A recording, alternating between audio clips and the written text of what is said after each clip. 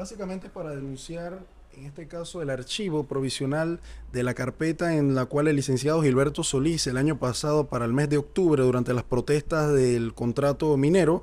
fue lesionado por unidades de la policía y fue de manera atroz abusado con gases lacrimógenos mientras fue trasladado en el área de calle 50 en un patrulla, en el cual el licenciado, al identificarse como abogado, eh, estas unidades de manera arbitraria deciden lanzarlo del patrulla, ocasionándole una fractura en el hombro que, en la cual tuvo que tener una intervención quirúrgica hecho acaecido durante las protestas y inmediatamente el licenciado acude a las instancias correspondientes a interponer la denuncia en contra del director de la policía en ese momento, entonces John Donhain. Sin embargo, en el mes de agosto de este año 2024 le notifican, así como a sus apoderados, del archivo provisional, es decir, que no existen, de acuerdo a la, resolución del procurador Javier Caraballo, quien es el que la afirma que no existen los elementos mínimos para poder continuar una investigación en contra del exdirector de la policía.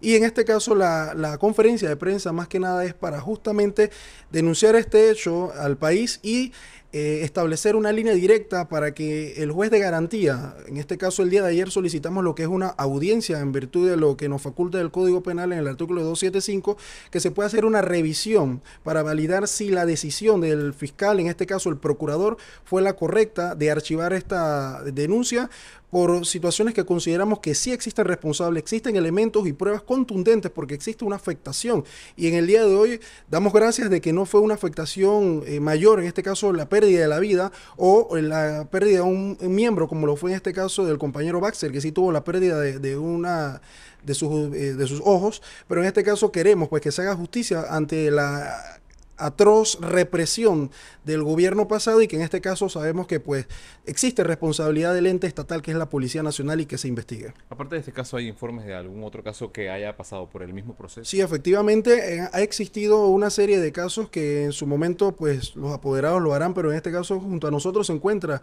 el representante legal de compañeros del Suntra y Frenadeso que justamente también han tenido denuncias que le han sido de alguna otra manera eh, limitada su capacidad de poder aportar y han sido de alguna manera otra archivadas como lo es el licenciado Antonio Vargas que se encuentra aquí a mi izquierda, y por el, otro lado el licenciado Arturo Treyes en representación de los eh, lo que es la parte de la Universidad de Panamá por afectaciones de gases lacrimógenos a, los centros de orientación infantil de la universidad. Antonio Vargas, eh, abogado de Suntra, Conusi y de Frenadeso.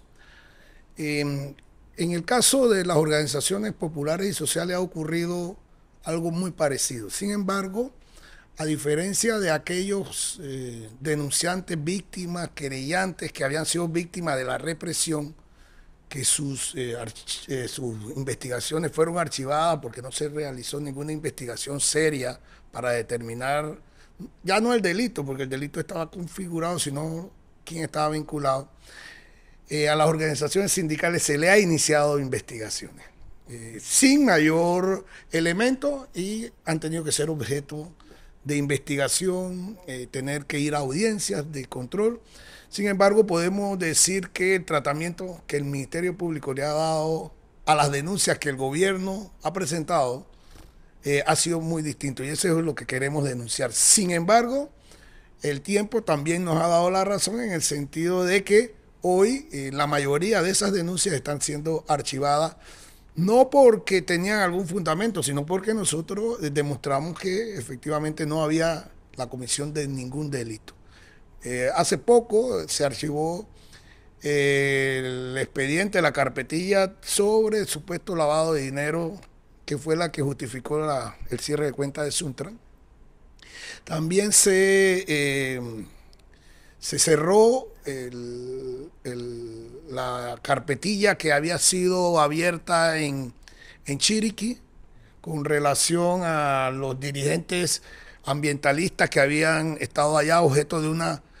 eh, querella penal por más de un millón de dólares que querían imputarle por las supuestas pérdidas.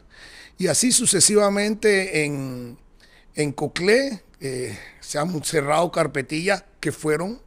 a partir de esta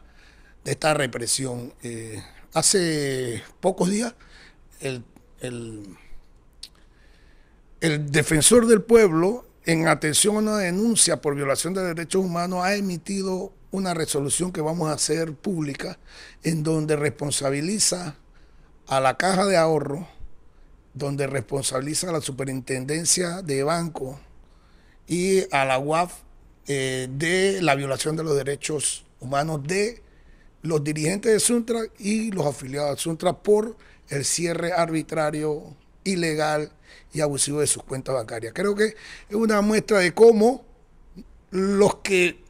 estaban al frente de las protestas tuvieron que enfrentar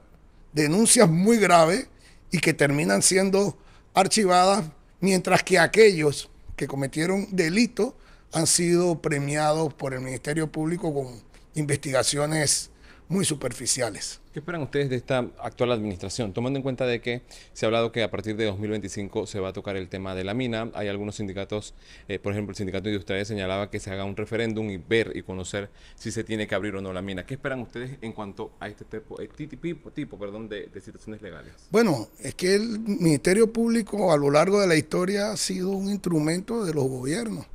y que ha sido eh, utilizado para eh, criminalizar la protesta social. Bueno, iniciamos con un nuevo procurador, es un abogado joven, sin embargo, estaríamos eh, a la expectativa de que si efectivamente, por haber sido abogado del presidente, su imparcialidad sea bastante cuestionada. Él con sus actos determinará efectivamente que, cuál va a ser el rumbo y qué en los futuros días, meses, donde, donde nos vamos a enfrentar a un cambio de estructura de, la seguridad social, eh, él no se preste para perseguir a los movimientos sociales como sí lo hizo eh, no solamente Caraballo, sino otros procuradores a lo largo de los últimos 30 años. Arturo Treyes, abogado de estudiantes y por parte de los denunciantes de la Universidad de Panamá, ante el Ministerio Público. Nosotros sí queremos dejar eh, sentada nuestra posición en función de que eh, arbitrariamente el Ministerio Público ha cerrado todas las carpetas que la Universidad de Panamá presentó como denuncia ante la fuerte ola represiva que se dio en los predios de la Universidad de Panamá y uno de los casos fue el tema del, del CAIPI, donde se vieron afectados niños entre edades eh, 3 a 8 años de edad. Eh, recordamos eh, públicamente que eh, la Policía Nacional envió un comunicado después de esos hechos lamentables donde este, aceptaron parte de esa responsabilidad. Sin embargo, al interponer la denuncia, se adjuntaron todos estos elementos y el Ministerio Público opta por cerrar esta carpeta. Y de igual manera la de todas aquellas personas que se vieron afectadas, tanto del movimiento popular como compañeros docentes, como también la ciudadanía en general. Y es sorprendente que cuando esas denuncias se interponen ante el despacho del procurador, eh, nunca nos llamaron para poder brindar eh, las pruebas anunciadas dentro, del, dentro de los hechos para que se, la investigación se asignara a la fiscalía correspondiente y la investigación siguiera su curso. Si no, nunca nos llamaron y eh, meses después es que nos están llamando para notificarnos del cierre de las carpetas. Y es sorprendente, eh, como lo indicó el, colega Vargas, que estas denuncias eh, fueron archivadas, sin embargo, durante este, este periodo siguieron abiertas algunas investigaciones en contra de aquellas personas pues, que llevaron adelante esta, esta protesta y que la Corte Suprema declara inconstitucional. Eh, nosotros le hacemos un llamado a la nueva administración del Ministerio Público que mantenga una posición independiente porque se va a volver a solicitar en base al artículo 275 del Código Procesal Penal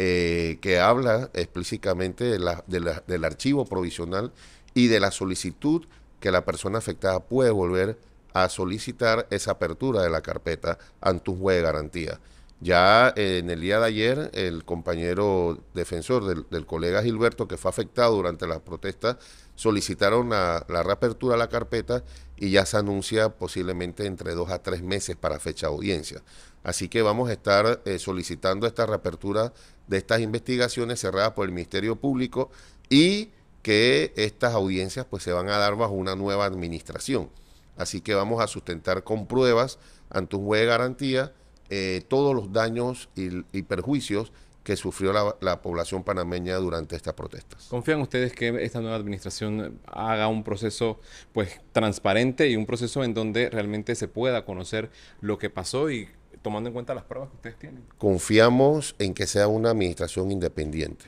Ya hay señalamientos claros eh, y en la comisión de credenciales el procurador entrante indicó que fue abogado del presidente de la República y nosotros eh, confiamos en que sea una independencia eh, y no sea utilizado el Ministerio Público como un brazo político del órgano ejecutivo para poder darle persecución a los movimientos populares.